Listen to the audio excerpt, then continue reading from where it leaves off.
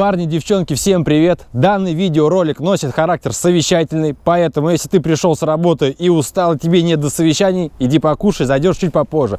Ну а сейчас мы постараемся в краткой форме осветить 5 моментов, нужно посовещаться, чтобы не тянуть время, мы начинаем прямо сейчас. Первое, с чего начнем, парни, значит, сейчас занялся подготовкой параллельной для съемки Mazda 3 хэтчбэк. Ну, многие люди просили, говорят, давай снимем, посмотрим, в чем разница между шестеркой и трешкой. Посмотрите, цена на хэтчбэк начинается от миллион двести и доходит до 1 миллион триста пятьдесят тысяч. Когда за миллион четыреста-четыреста пятьдесят уже можно взять Mazda 6, 2 литра в комплектации Supreme Plus. То есть это уже, в принципе, полная комплектация будет хорошая.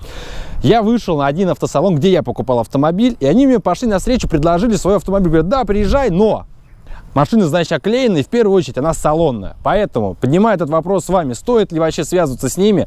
В принципе, могу их подвинуть, но хотелось совместить два ролика в одном. То есть мы и про машину расскажем, раз, хэтчбэк, подчеркиваю, редкая машина, на самом деле. Вот я сейчас нахожусь в областном городе Кашира, здесь таких машин вообще нету. В Ступино соседям тоже нету. Поэтому выносим на совещание вот этот момент. И то, что машина, подчеркиваю, будет салонная, оклеенная. Но я с ним проговорил, полностью будет объективный обзор. Высказываю полностью свое мнение вместе с вами. Поэтому напишите ваши комментарии, ваши мысли по этому поводу, стоит ли вообще ввязываться в эту авантюру. Значит, вторая тема на обсуждение. Во время договоренности по трешке хэтчбэк э, представитель компании Mazda сделал мне предложение, говорит, давайте пригоняйте машину CX-5 рестайлинговую в любом, с любым пробегом. Ну, я предлагаю максимально большой пробег для технического обслуживания. Помните, я снимал ролик и показывал, как вот на моей машине, там на 60 тысячах, все смотрели, делали обслуживание, я это все снимал на видео. То же самое, говорят, мы готовы пойти навстречу, заснимем CX-5. Пацаны, если есть кто из вас желающий, ну вообще в целом, если вы поддержите эту идею, если это интересно, ты, может быть, являешься владельцем CX-5, либо потенциальным владельцем CX-5. Давайте загоним машину, что-нибудь с пробегом 90 тысяч, сделают обслуживание, заснимем и покажем. У меня с ними никаких договоренностей финансовых нет, это я вам 100% говорю. Поэтому, если машина будет в плачевном состоянии, значит, я так и покажу, что она в плачевном состоянии. В любом случае, все это на обсуждение к вам. Интересно, пишите, предлагайте свои машины, давайте, ну, съездим. Не интересно, значит, эту тему мы просто подвинем в другую сторону. Идем дальше. Третье. По Land Cruiser 200 и по другим автомобилям. Парни, я ничего не забыл. Просто периодически в комментариях люди пишут, ну когда эта машина, ты же обещал сделать. Я все сделаю, просто жизнь сейчас бьет ключом. Тут то одно, то второе. А снимать что-то на коленке, знаешь, ну типа после работы вышел, уже темнеет по-быстрому, по-быстрому, лишь бы снять, так мы делать точно не будем.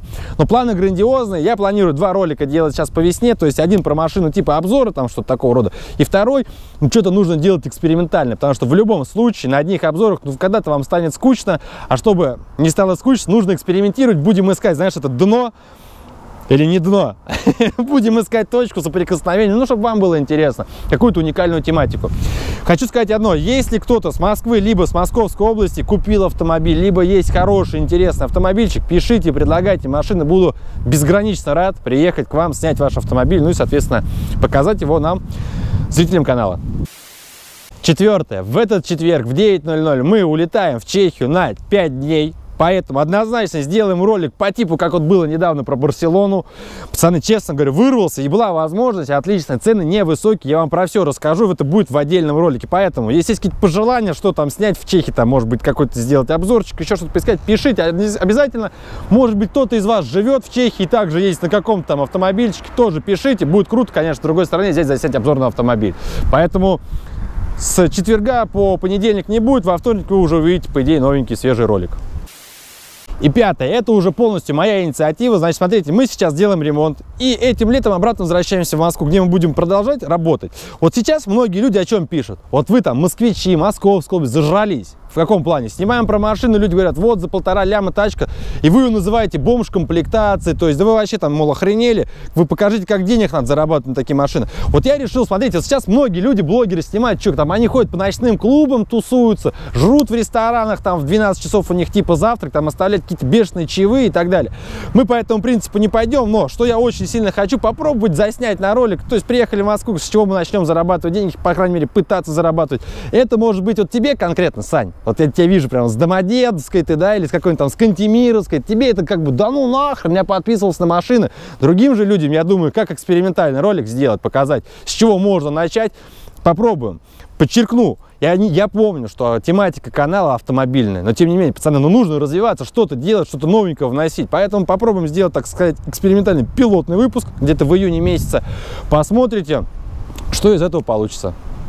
На этом у меня сейчас все. Одна большая просьба. Напишите ваши комментарии по каждому пункту, что стоит делать, что не стоит, что интересно. В любом случае, парень, но я с вами советуюсь, потому что если вы скажете, что вот это вот нахрен не надо, ну, значит, этого не будет. Вот. Подписывайтесь обязательно на инстаграм-канал. Там выходят только анонсы, где вы можете принимать активное участие еще до съемок видеороликов. Ставьте лайки к этому видео. И до новых встреч. Всем пока-пока.